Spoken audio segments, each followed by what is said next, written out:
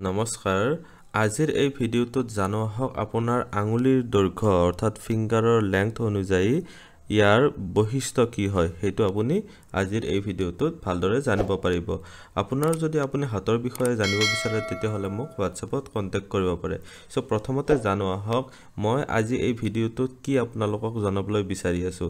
আপুনি চাব লাগিব এই মধ্যমা আঙুলিটোৰ দৈৰ্ঘ্য ইয়াৰ পৰা এইখিনি অংশৰ পৰা এইখিনি অংশলৈকে। এই যিখিনি দৈৰ্ঘ্য হ'ব আপোনাৰ এইখিনি দৈৰ্ঘ্যৰ লগত আপোনাৰ ইয়াৰ পৰা এই লাইনটোৰ পৰাই এই হাতখনৰ য'ত শেষ হৈছে হাতৰ তলুৱাখিনিৰ এই অংশখিনি আপুনি দৈৰ্ঘ্যটো চাব লাগিব। ঠিক আছে? এইখিনি ধৰি লওক দুই নম্বৰ অংশ দিলোঁ আৰু এইখিনি ধৰি লওক আৰু প্ৰথম যিখিনি আছে এইখিনি অংশক ধৰি লওক আপোনাক দি দিলোঁ এইখিনি এক নম্বৰ। ঠিক আছে? এইখিনি হ'ল এক নম্বৰ দৈৰ্ঘ্য আঙুলিটোৰ দৈৰ্ঘ্য অৰ্থাৎ এইটো এক নম্বৰ দিলোঁ আৰু হাতৰ তলুৱাৰ দৈৰ্ঘ্য ইয়াৰ পৰা ইয়ালৈকে চাব। চ' এইখিনি অংশৰ দৈৰ্ঘ্য দুটা দি দিলোঁ। ইয়াতে দুই ধৰণৰ হ'ব পাৰে। চ' প্ৰথম টাইপটো কেনেকুৱা হ'ব যে এক নম্বৰ দৈৰ্ঘ্যৰ এক নম্বৰ অংশটোৰ দৈৰ্ঘ্যটো দুই নম্বৰ অংশটোৰ দৈৰ্ঘ্যতকৈ মানে চুটি হয়। চ' আপোনাৰ তিনি ধৰণৰ হ'ব পাৰে। হয় চুটি হ'ব এইখিনি এক নম্বৰ অংশখিনিৰ দৈৰ্ঘ্যটো দুই নম্বৰ অংশখিনিৰ দৈৰ্ঘ্যতকৈ হয় চুটি হ'ব নহ'লে বা সমান হ'ব নহ'লে বা এক নম্বৰ অংশখিনিৰ দৈৰ্ঘ্যটো দীঘল হ'ব। অৰ্থাৎ আপোনাৰ হাতৰ তলুৱাৰ এই অংশখিনিৰ তুলনাত আপোনাৰ আঙুলিৰ দৈৰ্ঘ্যটো এইখিনি অংশৰ তুলন দৈৰ্ঘ্যটো হয় চুটি হ'ব নহ'লে বা সমান হ'ব নহ'লে বা দীঘল হ'ব। ঠিক এইখিনি অংশটোৰ ক্ষেত্ৰত মই এটা এটাকৈ আপোনালোকক এতিয়া কৈ যাম চাব। মধ্যমা আঙুলিৰ দৈৰ্ঘ্যটো যদি হাতৰ তলুৱাৰ এইখিনি অংশৰ দৈৰ্ঘ্যতকৈ যদি চুটি হয় চ' এইটো আমাৰ কৈছোঁ প্ৰথম ফাৰ্ষ্ট কেছ হয়? চ' এই প্ৰথম কেছটোৰ ক্ষেত্ৰত আপুনি চালে গম পাব যে এইসকল ব্যক্তি শাৰীৰিকভাৱে শক্তিশালী হয়। আৰু আঙুলিবিলাক যদি অলপ বহল হয় মোটা হয় চাব মই ইয়াতে হাত এখন এইখন হাত যে দেখাইছোঁ ইয়াতে চেম্পল হেণ্ড দেখাইছোঁ এইখন মিডিয়াম ধৰণৰ দেখাইছোঁ দেই চব ক্ষেত্ৰতে মিডিয়াম দেখিছে ইয়াতে চাব যে এই আঙুলিটোৰ দৈৰ্ঘ্যটো ধৰি লওক এই মধ্যমা আঙুলিটোৰ দৈৰ্ঘ্যটো ইয়াতে ইয়াতে শেষ হৈ গৈছে ঠিক আছে তৰ্জনী আঙুলিটো এইখিনিতে শেষ হৈ গৈছে বা এনেকুৱা ধৰণে শেষ হৈ গৈছে ঠিক আছে চ' এনেকুৱা ধৰণৰ যদি হৈ যায় সেইটো ক্ষেত্ৰত আপোনালোকে বুজিব পাৰিব যে এই ব্যক্তিজন শাৰীৰিকভাৱে শক্তিশালী হ'ব এওঁ এওঁৰ ক্ষেত্ৰত দেখিবলৈ পাৰিব যে এওঁ কিছু পৰিমাণে উগ্ৰ স্বভাৱৰ হ'ব আৰু এওঁলোকৰ দয়া মৰম এইবিলাক অলপ কম পৰিমাণে থাকে। তাৰমানে যিটো ইম'চনছ হয় নহয় ফিলিংছ হয় এওঁলোকৰ কিছু পৰিমাণে কম থাকে। কিন্তু এইটোৰ মিনিং এইটো নহয় যে এওঁলোক বেয়া হয়। এওঁলোকৰ মানে কি হয় মানুহৰ ফিলিংছ বা ইম'চনছ যিটো হয় সেইটোক সিমান এটা প্ৰাধান্য নিদিয়ে এওঁলোকে। নিজৰ ক্ষেত্ৰতো তেনেকুৱা হয় এওঁলোক চিধা চাধা ধৰণৰ হয় আৰু একে ধৰণৰ ৰুটিন ফ'ল' কৰে। অৰ্থাৎ যিসকল ব্যক্তিৰ আঙুলিৰ দৈৰ্ঘ্যটো হাতৰ তলুৱাৰ দৈৰ্ঘ্যতকৈ কম হয় তেওঁলোকে এটা ৰুটিন ফ'ল' কৰে। অৰ্থাৎ সদায় তাৰমানে নতুন নতুন কিবা এটা ক্ৰিয়েটিভিটি সজাই কিনে বা কিবা কৰিব তেনেকুৱা নহয়। এওঁলোকে যিটো কৰি থাকে সেইটোকে ধৰি লওক ৰুটিন হিচাপে ফ'ল' কৰে। ধৰি লওক এওঁলোকক কি ক্ষেত্ৰত ভাল হ'ব এতিয়া ধৰি লওক কিবা এটা কামত যদি লগোৱা যায় এওঁলোকে সদায় ভালদৰে কৰি যাই থাকিব। যদি তেওঁ শিকি ল'লে কৰি থাকিব। ঠিক আছে। চ' এওঁলোকৰ যিটো ৰুটিন ফ'ল' কৰাৰ যিটো তাৰমানে ধৰণ আছে তাৰ কাৰণে এওঁলোকৰ ক্ষেত্ৰত কি হয় জানেনে? এওঁলোকে কি কৰিব নেক্সট এওঁলোকক অনুমান কৰিবলৈ পৰা যায়। এওঁলোকৰ বুদ্ধিৰ ক্ষেত্ৰত কিছু পৰিমাণে কম থাকে। ঠিক আছে কম থকা দেখা গৈছে। চ' তাৰমানে কি হয় জানেনে এওঁলোকক প্ৰত্যেকটো ক্ষেত্ৰত যিটো ক্লেভাৰ বা যিটো চৈতান বুলি ধৰণৰ আমি যে কওঁ মানে গাঁৱৰ ভাষাত চ' তেওঁলোকৰ ধৰণ কাম কৰাৰ ধৰণ যদি আজি কিবা এটা তেওঁ কৰিবলৈ যাই আছে তেওঁ কি ধৰণে কৰিব সেইটো আগতীয়াকৈ অনুমান কৰিব পৰা যায়। কাৰণ এওঁৰ সদায় ক্ৰিয়েটিভিটিটো অলপ কম থাকে ঠিক আছে? আৰু এওঁলোকৰ ক্ষেত্ৰত কেনে হয় জানেনে এওঁলোকৰ ক্ষেত্ৰত যদি কিবা কাৰণত এওঁলোকে যদি অলপ ধৰি লোৱা ষ্ট্ৰিক্ট বা যদি ধৰি লোৱা নিষ্ঠুৰো হ'বলগীয়াত পৰি যায় তেওঁলোকে নিষ্ঠুৰ হ'বও পাৰে। অৰ্থাৎ এওঁলোকক যদি কোৱা যায় যে ধৰি লওক মানে যিসকলৰ আঙুলিবিলাক মোটা থাকিব হা এই ক্ষেত্ৰত আপোনালোকে গম পাব যে আঙুলিটো যদি মোটাও হয় তেওঁলোকে মানে কি হয় বিশেষকৈ সেনা বাহিনীৰ লাইনত বা এওঁলোকক যদি কোৱা হয় যে তেওঁ শত্ৰুৰ মানে সৈন্য ইমান মানে মাৰিব লাগিব আজি বা আমি এনেকুৱা জিকি আহিব লাগিব। চ' এওঁলোকৰ সেইটো ক্ষেত্ৰত দয়া মৰম দয়া মৰম বা তেওঁলোকৰ নাজাগে। এওঁলোকে সেইটো ক্ষেত্ৰত এবাৰো ধৰি লওক নাভাবে। চ' এওঁলোক চিধা চাধা প্ৰবৃত্তিৰ হয় কিন্তু এওঁলোকৰ খং উঠিলে বা যিটো মানে গাত যিহেতু ভল্টেজ বেছি থাকে তেওঁলোকে পটককৈ কিবা এটা কাম কৰিও দিব পাৰে। তেওঁলোকে ইমান এটা ভাবি নাথাকে। ঠিক আছে? তাৰপিছত চাব এওঁলোক মানৱতাৰ ক্ষেত্ৰতো ইমান এটা মানে ঠিক নহয়। তাৰমানে ধৰি লওক কেনেকুৱা ঠিক নহয় মানে এতিয়া মই এইটো মিনিং নহয় যে এওঁলোক মানৱতা নাই বা তেনেকুৱা নহয়। এওঁলোকৰ ক্ষেত্ৰত চাব যে এওঁলোকে মানুহৰ ফিলিংছৰ কথা ইমান ভাবি নাথাকে ঠিক আছে? এওঁলোকে নিজৰো ফিলিংছক প্ৰাধান্য নিদিয়ে আনৰো ফিলিংছত এওঁলোকে কিছু পৰিমাণে ইগন'ৰ হ'লেও কৰি দিয়ে। সকলো কামতে এওঁলোকে খৰধৰ ধৰণৰ কৰে। ঠিক আছে? কিবা এটা যদি কাম কৰিবলৈ দিয়ে এওঁলোকে ধৰি লওক ধীৰে সুস্থিৰে লাহে ধীৰে ধুনীয়াকৈ ভালকৈ কৰি থাকিব লাগিলে দিগদাৰ পায়। এওঁলোকৰ কথাটো হৈছে কামটো আৰম্ভ কৰিছোঁ এতিয়া শেষ কৰিব লাগে। যিসকল ব্যক্তিৰ আঙুলিটো যদি চুটি থাকে হাতৰ তলুৱাৰ তুলনাত চ' এওঁলোকৰ ডিচিশ্যন মেকিঙত মানে দুৰ্বল হৈ যায়। অৰ্থাৎ চব ক্ষেত্ৰতে তেওঁলোকে অলপ দৌৰা দৌৰি কৰে। দৌৰা দৌৰি যেতিয়া কৰিব তেওঁলোকে ডিচিশ্যনটো ভাল নহ'ব। ঠিক আছে ভালদৰে ভাবি চিন্তি নাচায় ঠিক আছে। এতিয়া আহিছোঁ মই ছেকেণ্ড টাইপৰলৈকে এই এক নম্বৰ অংশটোৰ দৈৰ্ঘ্য যদি দুই নম্বৰ অংশটোৰ দৈৰ্ঘ্যতকৈ যদি সমান হৈ যায় এক নম্বৰ ইয়াতে দিলোঁ তাৰপিছত এইটো যদি দুই নম্বৰ দৈৰ্ঘ্যটোৰ সমান যদি হৈ যায় ঠিক আছে? এইবাৰ মই এই যিটো সেউজীয়া ৰঙেৰে দেখালোঁ এই অংশটো যদি সমান হৈ যায় অৰ্থাৎ এই এক নম্বৰ দৈৰ্ঘ্যখিনি দুই নম্বৰ দৈৰ্ঘ্যখিনিৰ সমান হৈছে ইকুৱেল তাৰমানে আঙুলিৰ দৈৰ্ঘ্য আৰু হাতৰ তলুৱাৰ দৈৰ্ঘ্য সমান। এতিয়া এওঁলোক কেনেকুৱা হ'ব? এওঁলোকৰ অলপ কিছু পৰিমাণে এওঁলোক বেলেঞ্চ প্ৰবৃত্তিৰ হয়। তাৰমানে এওঁলোকে ইম'শ্যনছো মেইনটেইন কৰিব জানে আৰু ধৰি লওক ধৰো মানে ইমান এটা তাৰমানে তেনেকুৱা নহয়। ঠিক আছে? তাৰমানে যিকোনো ক্ষেত্ৰতে যেতিয়া ডিচিশ্যন ল'বলগীয়া হয় এওঁলোকে সঠিকভাৱে যিটো সময়ত ডিচিশ্যন ল'ব লাগে তেওঁলোকে সেইটো সময়ত ডিচিশ্যন ল'ব পাৰে। এওঁলোকে বয়োজ্যেষ্ঠজনৰ পৰা কথাবিলাক সহজতে শিকি ল'ব পাৰে ঠিক আছে? আৰু এওঁলোকৰ যি পূৰ্বপুৰুষ থাকিব তেওঁলোকতকৈ এওঁলোক মানে অধিক বুদ্ধিমান হ'ব। অৰ্থাৎ দেউতাকৰ যিমানখিনি বুদ্ধি আছিলে মাকৰ যিমানখিনি বুদ্ধি আছিলে বা খুৰাক ককাকৰ বা তেওঁলোকৰ যি বুদ্ধি আছিলে তেওঁলোকতকৈ এওঁলোকৰ বুদ্ধি বেছি থাকে। ঠিক আছে?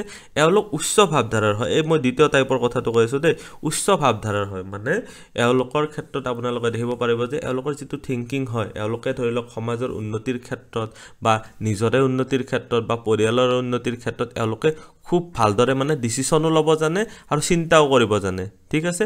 প্ৰতিটো ক্ষেত্ৰতে এওঁলোকে মিলাই চলিব জানে অৰ্থাৎ যিকোনো পৰিস্থিতি হওক এওঁলোকে খাপ খুৱাই নিজকে মানে তাতে খটুৱাই ল'ব জানে। আৰু এওঁলোকৰ এটা মানে কি থাকে জানেনে? এওঁলোকে সদায় নিজক অলপ ওপৰত ৰাখিব চেষ্টা কৰে।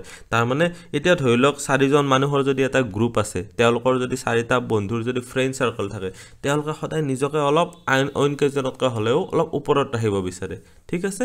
আৰু চাব নিজৰ বুদ্ধিৰ ক্ষেত্ৰত এওঁলোক বিখ্যাত। হৈ যায় তাৰমানে কেনেকুৱা হৈ যায়? এওঁলোকৰ বুদ্ধিটো মানে কি হৈ যায়? ফ্ৰেণ্ড চাৰ্কলো থাকিব এওঁলোক বেলেঞ্চো নেচাৰৰ হয়। চ' সেইকাৰণে এওঁলোকৰ কি হৈ যায়? তাৰমানে নিজৰ বুদ্ধিৰ বলত বুদ্ধিৰেতো কাম কৰিবই লগতে যিহেতু এওঁলোকে মিলি চলিব জানে তাৰ কাৰণে এওঁলোকে মানে বিখ্যাত হ'ব পাৰে। যিহেতু ডিচিশ্যন মেকিঙতো এওঁলোক ভাল হয়। তাৰমানে দৌৰা দৌৰি নহয় যিখিনি ভাবি চিন্তি যিখিনি যেনেকুৱা ধৰি লওক ডিচিশ্যন ল'ব লাগে ডিচিশ্যন মেকিঙত খুব ভাল হৈ যায়। এতিয়া আহিছোঁ তৃতীয় টাইপলৈকে ধৰি লওক এই যিখিনি মই ইয়াতে এটা মই বেলেগ কালাৰেৰে দেখাইছোঁ। ধৰি লওক এইখিনি অংশত চাব। এইখিনি অংশত চাব। এতিয়া ধৰি লওক তৃতীয় অংশটোৰ ক্ষেত্ৰত। এই মই ইয়াতে দেখাইছোঁ এই এক নম্বৰ অংশ যিখিনি আছে এক নম্বৰ অংশখিনিৰ দৈৰ্ঘ্যটো দুই নম্বৰ অংশখিনিৰ দৈৰ্ঘ্যতকৈ বেছি হৈ যায়। ছাপ'জ তাৰমানে কি হৈ আছে এক নম্বৰ যিখিনি আছে এইখিনিৰ দৈৰ্ঘ্যটো দুই নম্বৰ অংশখিনিৰ দৈৰ্ঘ্যতকৈ এতিয়া বেছি হৈ গ'ল। তাৰমানে আপোনালোকে কি বুজিব পাৰিছে যে আঙুলিবিলাকৰ দৈৰ্ঘ্য এতিয়া হাতৰ তলুৱাৰ দৈৰ্ঘ্যতকৈ এতিয়া বেছি হৈছে। ঠিক আছে? ধৰি লওক তৃতীয় টাইপ এইটো। তিনি নম্বৰ ধৰণৰ হ'ল এই তৃতীয় টাইপৰ ক্ষেত্ৰত আপোনালোকে কি বুজিব পাৰিব যে এওঁলোকে শ্ল'লি কাম কৰে। ঠিক আছে? প্ৰথম পইণ্টটো চাব যে এওঁলোক কিছু পৰিমাণে কামত শ্ল' বাকী মানুহৰ যদি এটা কাম কৰোঁতে দহ মিনিট লাগে এওঁলোকৰ সেইটো কাম কৰোঁতে পোন্ধৰ মিনিট লাগিব। বাকী মানুহৰ যদি এটা কাম কৰোঁতে একদিন লাগিছে এওঁলোকে দুদিন লগাই দিব। কিয় লগাই দিব এতিয়া সেইটো চাব? যে এওঁলোকে প্ৰত্যেকটো কাম দুবাৰ তিনিবাৰ ভাবি চিন্তিহে মানে কামটো কৰে। ঠিক আছে? সিদ্ধান্ত লোৱাৰ ক্ষেত্ৰত এওঁলোকে পলম কৰে। দুবাৰ তিনিবাৰ ভাবিহে সিদ্ধান্ত লয়। আঙুলিবোৰ যদি দীঘল আৰু ক্ষীণ হয় এই আঙুলিৰ যিটো থাকিব আঙুলিবিলাক যদি দীঘল আৰু যদি ক্ষীণ হয় ক্ষীণ মানে এই যিটো পাতল আৰু ক্ষীণৰ ক্ষীণ যদি হয় তেতিয়াহ'লে সেইটো ক্ষেত্ৰত দেখিবলৈ পাৰিব যে এওঁলোকৰ প্ৰতিটো কামতে নিখুঁত হ'ব বিচাৰে। ঠিক আছে? অৰ্থাৎ যি কামেই কৰিব সেইটোক তাৰমানে পাৰফেক্ট ধৰণৰ হ'ব লাগে। ধৰি লওক আখৰটো লিখোঁতেও এওঁলোকৰ আখৰ ভাল ৰাখিব ঠিক আছে চাপ'জ চুটি আঙুলিৰ ক্ষেত্ৰত আপোনালোকে দেখিবলৈ পাব পাৰিব যে অলপ দৌৰা দৌৰি সদায় থাকে সেইকাৰণে আখৰো বেয়া হৈ থাকে। আৰু দীঘল যিবিলাকৰ আঙুলি হয় যিসকল মানুহৰ তেওঁলোকৰ আখৰো ভাল থাকে। আৰু এওঁলোকে প্ৰত্যেকটো ক্ষেত্ৰত ৰিফাইনমেণ্ট বিচাৰে। ৰিফাইনমেণ্ট মানে বুজি পাইছে ন? প্ৰত্যেকটো কামত এবাৰ যদি কৰিলে এনেকুৱা হ'ল চাপ'জ আখৰটো লিখোঁতে চাপ'জ কটো এনেকুৱা হ'ল। নেক্সট বাৰ লিখোঁতে কটো আৰু অলপ ভাল হ'ব লাগিব। আৰু নেক্সট বাৰ লিখোঁতে কটো আৰু ভাল হ'ব লাগিব। তাৰমানে এনেকুৱা ধৰণৰ প্ৰত্যেকটো ক্ষেত্ৰতে মানে যেতিয়া তেওঁলোকে সেই কৰি যাই থাকিব কামটো কৰি যাই থাকিব তেতিয়া তাৰমানে তেওঁলোকে প্ৰত্যেকটো ষ্টেপতে মানে নিজৰ নিখুঁততা বা যিটো মানে সূক্ষ্ম দৃষ্টিৰ কাৰণে এওঁলোকে ৰিফাইনমেণ্ট আনে। তেওঁলোকৰ য'ত বুদ্ধিমত্তাৰ প্ৰয়োজন হয় তেনেকুৱা কামত বা ব্যৱসায়ত তেওঁলোকে ভাল ফল দেখুৱাব পাৰে। ঠিক আছে এওঁলোক এজন ভাল আৰ্টিষ্ট হ'ব পাৰে। আৰু লিডাৰশ্বিপত কিন্তু এওঁলোক বেয়া হৈ যায়। তাৰমানে কি হয় জানে? প্ৰত্যেকটো ক্ষেত্ৰতে ইহঁতৰ কি হৈ যায় যে মানে দুবাৰ তিনিবাৰে ভাবি থাকে তিনিবাৰ ভাবিব চাৰিবাৰ ভাবিব ডিচিশ্যনটো লওঁতে তেওঁলোকৰ দেৰি হৈ যায়। লিডাৰশ্বিপৰ ক্ষেত্ৰত ডিচিশ্যন মেকিঙত যদি দেৰি হৈ যায় তেওঁলোকৰ সেইটোতো আৰু ভাল নহয়। ঠিক আছে? চ' সেইকাৰণে এওঁলোকক জানিব যে মানসিক লেভেলত এওঁলোক বহুত ষ্ট্ৰং হয়। মানসিকভাৱে তাৰমানে এওঁলোক ষ্ট্ৰং হ'ব। তেওঁলোকে প্ৰত্যেকটো কাম নিখুঁতভাৱে কৰিব বিচাৰে। তেওঁলোক প্ৰত্যেকটো ক্ষেত্ৰতে পাৰফেক্ট হ'ব বিচাৰে ৰিফাইনমেণ্ট বিচাৰে। কিন্তু লিডাৰশ্বিপৰ ক্ষেত্ৰত যেতিয়া মানুহক চলাবলগীয়া হয় সেইটো ক্ষেত্ৰত তেওঁলোকে পিছ পৰি যায়। এতিয়া এওঁলোকৰ কাৰণে যিটো তিনি নম্বৰ টাইপৰ ক্ষেত্ৰত কৈছোঁ এই তিনি নম্বৰ টাইপটোৰ ক্ষেত্ৰত যেতিয়া তাৰমানে আঙুলিৰ দৈৰ্ঘ্যটো হাতৰ তলুৱাৰ দৈৰ্ঘ্যতকৈ দীঘল হয় সেইসকল ব্যক্তি মানে অনুসন্ধানৰ ক্ষেত্ৰত ভাল হ'ব। বিজ্ঞান বা কলা ক্ষেত্ৰতে হওক বা লিটাৰেচাৰ ছাৰ্ভিচৰ ক্ষেত্ৰতো বা লিটাৰেচাৰৰ ক্ষেত্ৰত লিখা মেলাৰ কামতো এওঁলোক ভাল হ'ব। দৰ্শনৰ ক্ষেত্ৰত বা যিটো ফিলচফি হয় ফিলচফিৰ ক্ষেত্ৰতো ভাল হ'ব। পঢ়া শুনাৰ ক্ষেত্ৰতো এওঁলোকক সুনাম অৰ্জন কৰিব পাৰে। তাৰমানে কেনেকুৱা হয় প্ৰত্যেকটো ক্ষেত্ৰতে এওঁলোকক দেখিব পাৰিব যে ছাপ'জ আখৰে ভাল হ'ল বা নেক্সট ষ্টেপত আপোনালোকে দেখিব পাৰিব যে ছাপ'জ এওঁলোকে প্ৰত্যেকটো কাম ভালদৰে ক'ব কৰিব পাৰে। তেওঁলোকে প্ৰত্যেকটো ধৰি লওক প্ৰশ্নৰ এনচাৰ লিখোঁতেই শুদ্ধকৈ বা মানে ধৰি লওক সঠিকভাৱে পাৰফেক্টলি লিখিব জানে ঠিক আছে? চ' ৰিফাইনমেণ্ট যিহেতু এওঁলোকৰ মানে ব্যক্তিত্বৰ এটা পাৰ্ট হয় তেওঁলোকে এইটো ক্ষেত্ৰত মানে বহুত ভাল অৰ্জন কৰিব পাৰে। বিশেষকৈ লিখা মেলাৰ ক্ষেত্ৰত ৰিচাৰ্চৰ ক্ষেত্ৰত বিজ্ঞানৰ ক্ষেত্ৰত ফিলচফিৰ ক্ষেত্ৰত পঢ়া শুনাৰ ক্ষেত্ৰত ঠিক আছে? আৰু আৰ্টিষ্টিক ফিল্ডতো বহুত ভাল হয়। এওঁলোকে দূৰদৰ্শী হয় কলাত্মক হয় আৰু লগতে আৱেগপ্ৰৱণো হয়। মই এইটো পইণ্টলৈ আহি আছোঁ। চাব যে এই আঙুলিবিলাক দীঘল হোৱাৰ লগতে আঙুলিবিলাক দীঘল হোৱাৰ লগতে এই গাঁঠি যিবিলাক থাকিব কিছুমান দেখিব পাৰিব যে গাঁঠিবিলাক এনেকুৱাকৈ অলপ বেছি মোটা থাকে। আঙুলি এটা ধৰি লওক আহিলে এনেকুৱাকৈ আহি কিনে গাঁঠি য'ত থাকিব অলপ মোটাকৈ যাব। ঠিক আছে ইয়াতে ধৰি লওক এইটো গাঁঠি আছে তাৰপিছত আকৌ এনেকুৱাকৈ গুচি গ'ল। গাঁঠিবিলাক কিছুমানৰ ক্ষেত্ৰত দেখিবলৈ পাৰিব যে অলপ মোটা থাকে।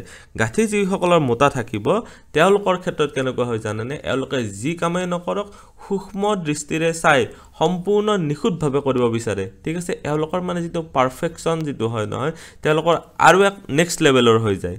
ঠিক আছে? এওঁলোকতো মই কৈছোঁ দূৰদৰ্শী হ'ব কলাত্মক হ'ব আৱেগপ্ৰৱণ হ'ব। আৱেগপ্ৰৱণ মানে কি? ইম'চনছে বেছি প্ৰাধান্য পাব। তাৰমানে এওঁলোকৰ যিটো মানে ইম'চনছ বা কাৰোবাৰ প্ৰতি যিটো আৱেগ অনুভূতি আনৰ কথা ভাবিব এওঁলোকে আনৰ কথা বহুত ভাবিব ঠিক আছে? এওঁলোকে আনক হাৰ্ট কৰিব মানে নিবিচাৰিব। চ' এওঁলোকে এজন ভাল মানুহটো হ'বই ঠিক আছে? এওঁলোকে পেইণ্টিঙৰ ক্ষেত্ৰত ভাল হ'ব কিবা মডেল বা ডিজাইন যদি কৰিবলগীয়া হয় ছাপ'জ আপোনালোকে ধৰি লওক এখন দৰ্জাৰে ছাপ'জ ডিজাইন এখন বনাব বিচাৰে বা এখন বিচনাৰে ডিজাইন কৰিব বিচাৰিছে। এওঁলোকৰ যিটো ডিজাইন বনাব সেইটো ক্ষেত্ৰত মানে এওঁলোক নিখুঁতভাৱে কৰিবলৈ বিচাৰিব। চ' যেতিয়া কামবিলাকত নিখুঁত হ'ব নহয় তেওঁলোকে মেকিং মডেল অৰ ডিজাইন সেইটোৰ ক্ষেত্ৰত তাৰমানে কি হ'ব? বা পেইণ্টিঙৰ ক্ষেত্ৰতো এওঁলোকে বহুত ভাল কাম কৰিব পাৰিব ঠিক আছে? কিন্তু যদি এওঁলোকক কাৰোবাক কণ্ট্ৰল কৰিবলৈ দিয়া হয় বা আন মানুহক যদি চলাবলৈ দিয়া হয় ঠিক আছে মানুহক লিড কৰিবলৈ দিয়া হয়। সেইটো ক্ষেত্ৰত এওঁলোক ব্যৰ্থ হৈ যায়। তাৰমানে এওঁলোক ডিচিশ্যন মেকিঙত ভাল নহয়। চ' ডিচিশ্যন মেকিঙত যেতিয়া ভাল নহ'ব তেতিয়া অভিয়াছলি এইটো গম পাইছেই যে এওঁলোকে মানুহক চলাব নোৱাৰিব কেতিয়া কেনেকুৱাকৈ চলাব লাগিব। আৰু এওঁলোকৰ ইম'চনছ যিহেতু বেছি থাকিব মানুহৰ দুখ মানে যিটো বেদনা এইবিলাক বেছিকৈ বুজিব। চ' এওঁলোকক মানুহক চলাবলৈ দিলে এওঁলোকে ব্যৰ্থ হ'ব। চ' আজিৰ এই ভিডিঅ'টোত মই তিনি টাইপৰ জনালোঁ। চ' প্ৰথম টাইপৰ ক্ষেত্ৰত আপোনালোকক কৈছিলোঁ যে আঙুলিবিলাক যদি চুটি হয় দ্বিতীয় টাইপৰ ক্ষেত্ৰত আপোনালোকক ক'লোঁ যে মানে আঙুলিবিলাকৰ ক্ষেত্ৰত যদি সমান হয় আঙুলিৰ দৈৰ্ঘ্য আৰু হাতৰ তলুৱাৰ দৈৰ্ঘ্য যদি সমান হয় তৃতীয় টাইপৰ ক্ষেত্ৰত মই আপোনালোকক ক'লোঁ যে আপোনালোকৰ যদি হাতৰ তলুৱাৰ দৈৰ্ঘ্যৰ তুলনাত আঙুলিৰ দৈৰ্ঘ্য যদি দীঘল হয় সেইটো ক্ষেত্ৰত কেনেকুৱা হ'ব? ভিডিঅ'টো চাই কেনেকুৱা লাগিলে কমেণ্টত নিশ্চয় জনাব। আপুনিও যদি আপোনাৰ বিষয়ে জানিবলৈ বিচাৰে তেতিয়াহ'লে হোৱাটছএপত কণ্টেক্ট কৰিব পাৰে। ধন্যবাদ। এইটো ভিডিঅ'ত আগবঢ়োৱা জ্ঞানখিনিৰ পৰা যদি আনৰো উপকাৰ হ'ব ভাবে তেনেহ'লে বন্ধুবৰ্গ আত্মীয় স্বজন আৰু চিনাকি মানুহৰ সৈতে শ্বেয়াৰো কৰিব। আপোনালোকে নেক্সট ভিডিঅ' কিহৰ ওপৰত চাব বিচাৰে কমেণ্টত জনাব। ধন্যবাদ।